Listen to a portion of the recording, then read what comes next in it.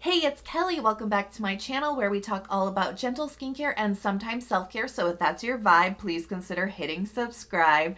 And today I want to share with you my thoughts on the Isntree Hyaluronic Acid Natural Sun Cream. Now this is a mineral sunscreen and as you may know, not really my jam, not really into mineral sunscreens personally. However, one of my favorite chemical sunscreens is the Isntree Hyaluronic Acid Watery Sun Gel. I really love that sunscreen. I think a lot of you watching do too. It's becoming very, very popular. And this is really kind of like the mineral sunscreen sister version to that sunscreen. And so I was really curious to see, you know, how does this measure up with mineral filters? Does this have some of the same characteristics of be being really light and breathable on the skin, really user friendly? So I want to share all my thoughts with you on this one. If you are so ready, give the video a big thumbs up and let's jump right in.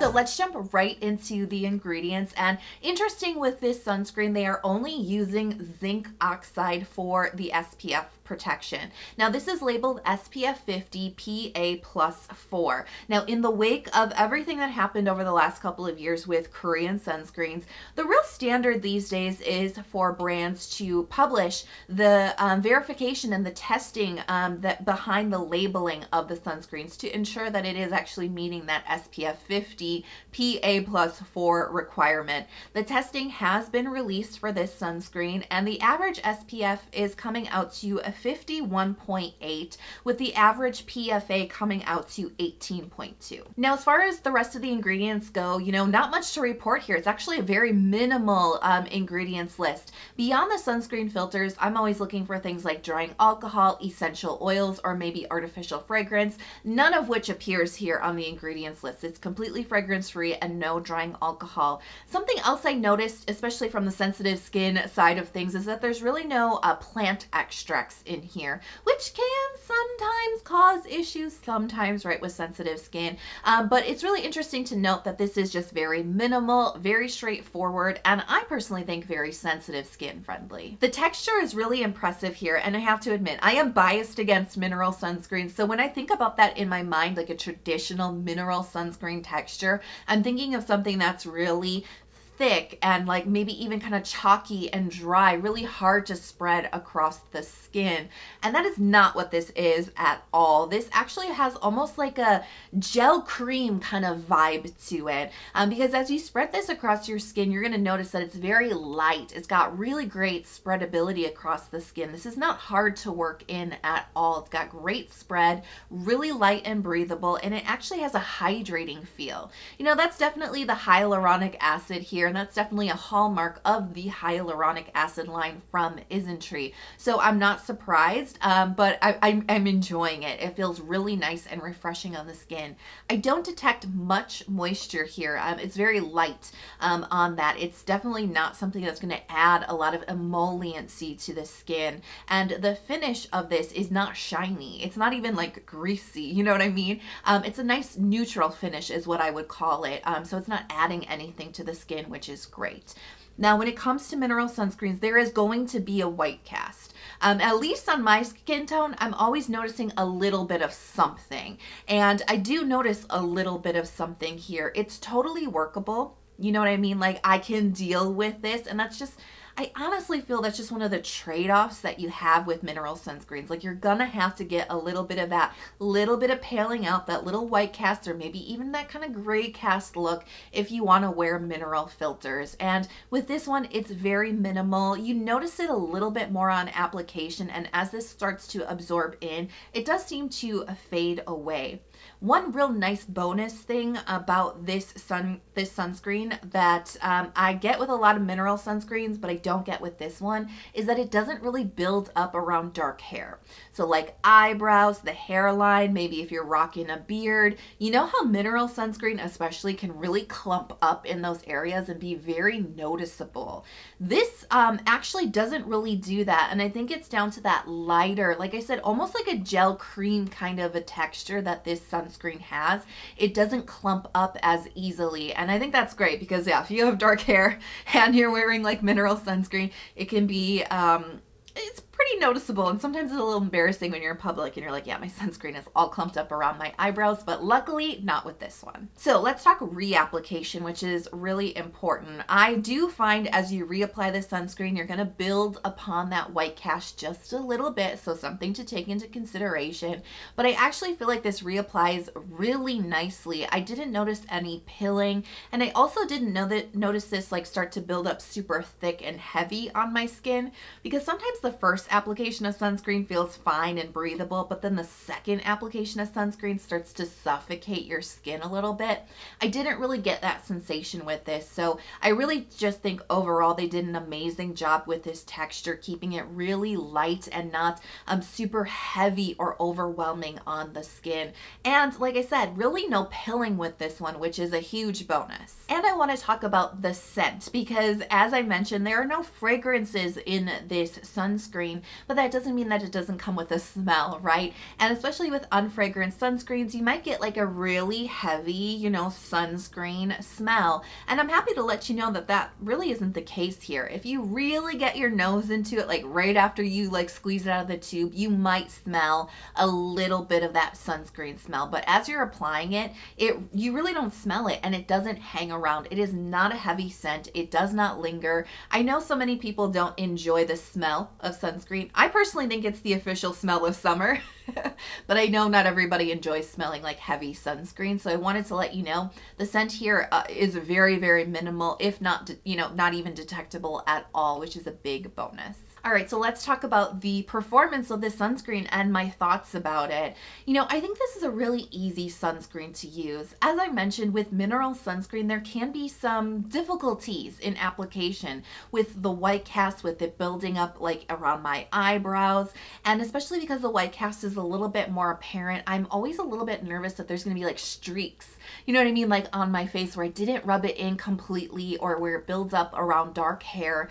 And because this texture is just so light and easy to spread, I just don't feel as paranoid about this sunscreen if you know what I mean like I like I'm checking my eyebrows in the middle of the day and that's fine I'm not seeing streaks across my face so I just feel like it's a really easy sunscreen just you know to apply which isn't always the case with mineral sunscreens now, something else I really appreciated about uh, the way that this performs is the fact that it's not a greasy sunscreen.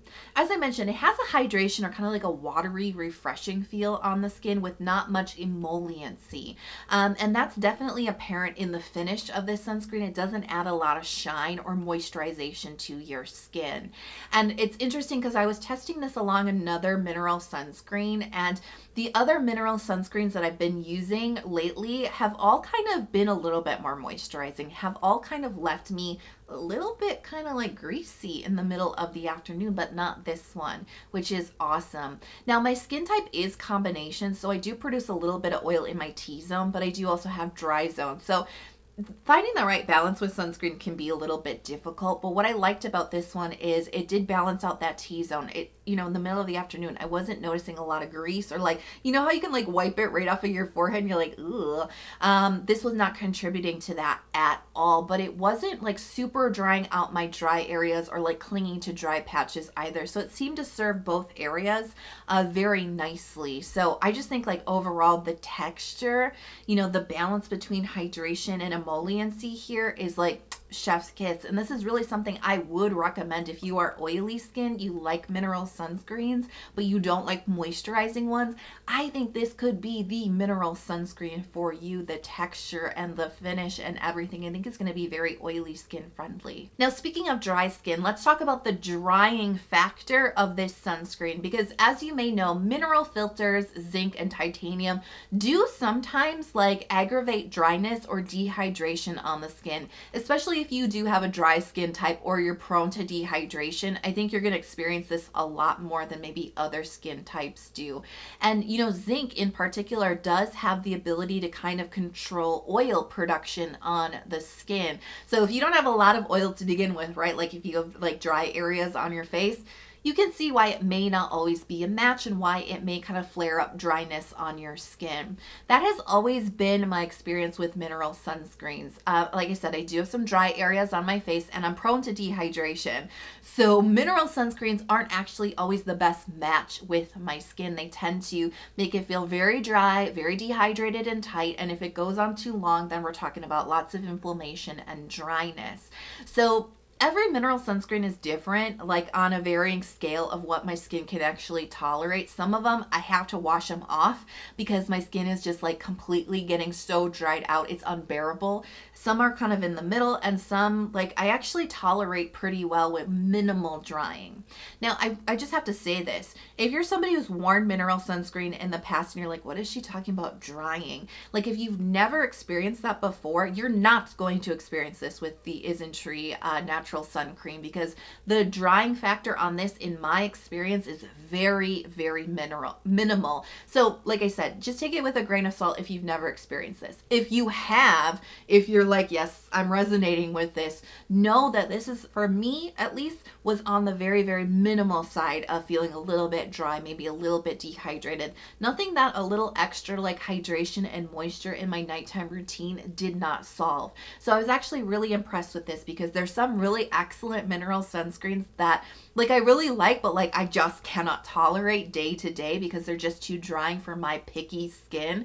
So just from my experience, I was actually really impressed with this. It's just not super duper drying. All right, so my final thoughts on this. I'm actually like kind of impressed with this.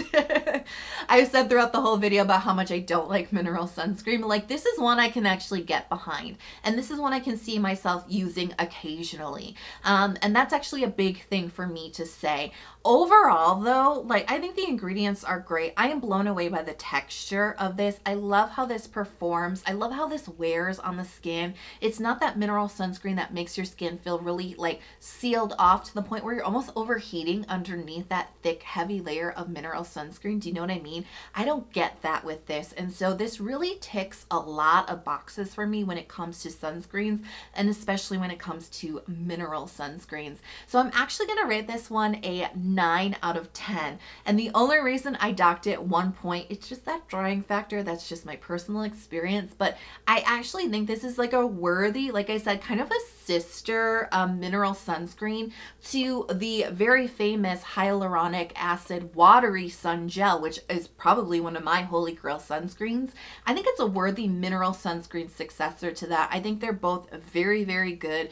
Isntree has done it again, I think. And if you're in the market for a mineral sunscreen that's a little bit lighter on the skin and not very emollient or moisturizing, like I said, definitely if you're on the oilier side of things, combination, I think that this is a sunscreen that you're also going to enjoy. So I'm curious, have you tried this one before or do you have some new sunscreen crushes that you're loving? Let me know in the comment box below.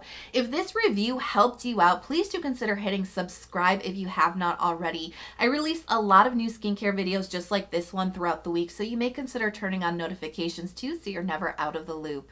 I hope you are healthy, happy, and safe, and I can't wait to see you in the next video. I'll talk to you soon. Bye.